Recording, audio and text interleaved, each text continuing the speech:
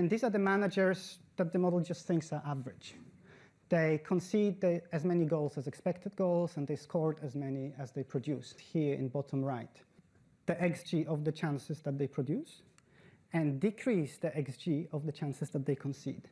And overall, the best manager is, is Lucien Favre. And this is something that has been known in the, in the uh, stats community for a while. Hi and welcome everybody. Um, I'm obviously doing an analysis here on Borussia Dortmund and Lucien Favre, and at the moment we're looking at his expected goals. You can see here I'm showing examples from the last couple of seasons at Dortmund. Their expected goals on the right versus the goals that they actually did score on the left. And you can see in all these examples, even going back a third season to Nice, and we can go back to Gladbach, Mönchengladbach, his time there.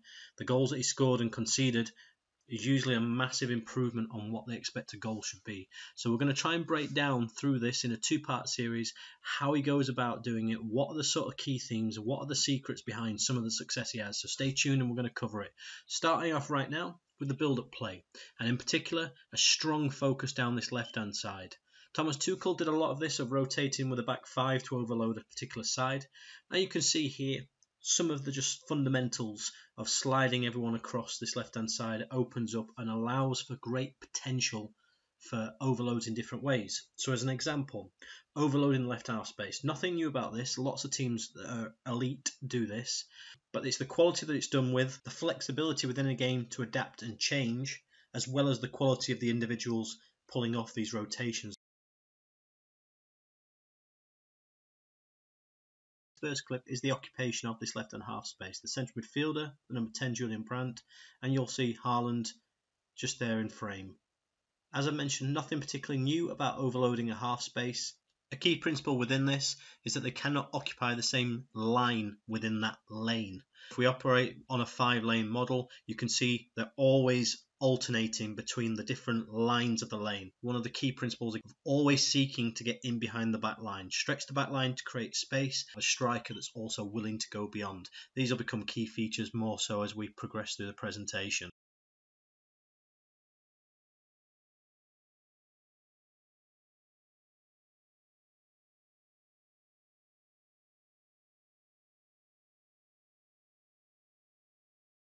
Will be common knowledge to Schalke that Dortmund want to exploit these half space lanes. And so you can see an example here where they're defending this area here. They're opening passing lanes that are obvious to Dortmund, perhaps play out wide. They're leaving those ones open in the hope that they'll choose to take them as opposed to taking the more riskier one.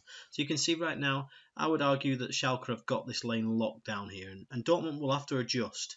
So rotation is one. So you see wonderful movement there to create space and an overload from Sancho coming in as a second 10 to exploit.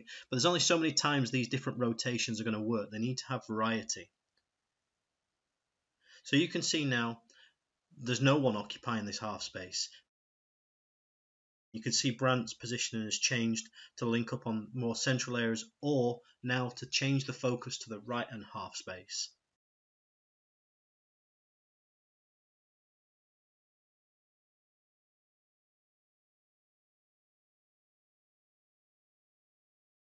Getting in behind the back line is the key skill of Lucien Favre's ability to coach. So you can see the overload and the getting the players in between the line, but it's the ability to coach the players, their positioning that entices defenders into bad presses where they arrive fractions late and allow for little openings. Now it doesn't come off on this occasion, but we're going to see plenty of examples where it does come off it's become very apparent over the last few years that counter-attacking is the, one of the main coaching qualities that Lucien Favre has. So from his time spent with Nice, Borussia Mönchengladbach, he has really excelled those teams and now is doing so likewise with Dortmund. But it's the kind of player that he's looking for to help achieve these goals. Counter-attacking transitional players, key dribbles, 9 to 10 a game, progressive runs for a game, players that are dynamic, fast, and take the ball a lot of yards and in towards the box. Look at those touches in the penalty box, five a game. So players that go in the box, you'll see again here the kind of players that play through passes and pass into the penalty box a high percentage of the time for sort of wide players, not players necessarily that can cross or do lots of crosses. So it's a specific type of player, and you can see the energy, the dynamism, okay, the intensity. Even of nine here, Haaland, exactly the same. Look at where he's counter attacking down the sides, where he can get in behind. The wing backs getting on the wrong side because they're faster, stronger. And this is what allows them to get beyond the back line into the penalty area more and create moments like this where it doesn't come off, but look at the amount of players in front of Haaland there if he had been able to get a shot off. In terms of reviewing this week's game against Schalke, defensively, Schalke really don't help themselves. This is really poor counter pressing structures from behind the line of the ball. Counter pressing. From a Dortmund perspective, they're perfectly lined up, but look at the speed, the energy, the intensity. And with all these chances, I want you to look at how many bodies are between the ball and the goal. So here in this example, they're pressing high with strong intensity. When they win it back, Okay, here they don't prioritize the correct passing lane, they're prioritizing the wider areas, leaving the more central half space lane open. Where again, players are drawn out.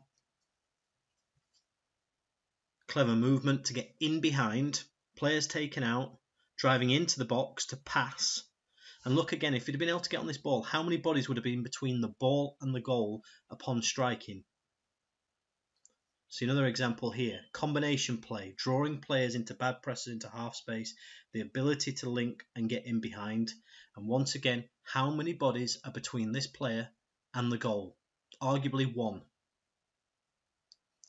Greater pace, greater desire and determination. Drive into the penalty area if you can. How many bodies are in front? One. It's enough on that occasion. So when evaluating why Lucien Favre's teams tend to overachieve on the goals they score versus expected goals, there's three or four things that sort of seem to crop up here. One is, is clearly their ability to outplay through half spaces, draw defenders out, thus getting in behind. You've got the quality of the individuals because they're playing at a high level.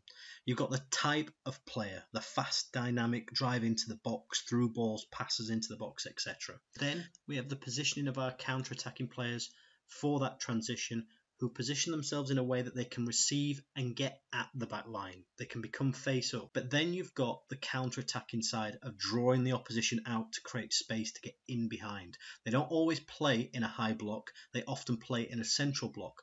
But what you get as the end product is low numbers, the ball and the goal. This is it combined the movement in the half space, the ability to get in behind, the fast dynamic players, the ability to finish and quality, and no bodies between the ball and goal.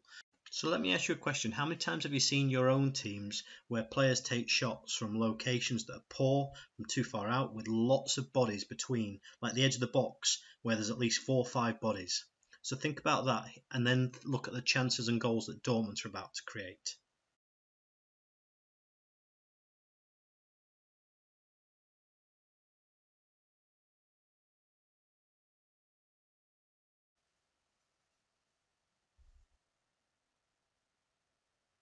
So again, you can see the two players between the lines, the ability to counter-attack at incredible speed. And when it comes to the finish, it's a great finish, high quality, but there's still not many bodies between there. And you can see here the finesse, ability to outplay the back line, get in behind the back line, pass into the penalty box, and look again, no bodies between on those occasions. And that's the real quality of why Dortmund, from a scoring perspective, overachieve on goals for versus what they should do. Part two, I will be looking into the defending side because there's some unique parts of the strategy there, where I'll be looking at how Borussia Dortmund obtain pitch control, how they counter press, how they defend key space, deny positive actions between the lines, play with fantastic intensity and desire.